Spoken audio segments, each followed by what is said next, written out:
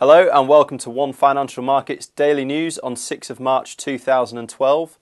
Monday saw American International Group announce that it was selling around $6 billion of shares in AIA Group in order to pay back the US government following its bailout when Lehman Brothers Holdings collapsed. The insurer is offering somewhere in the region of 1.7 billion shares to institutional investors, leaving it holding around 19% of AIA after the sale.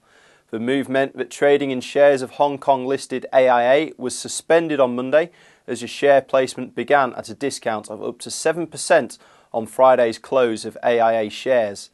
Currently, the US Treasury owns 77% of AIG after it completed a $182 billion bailout as a result of a global financial crisis in 2008.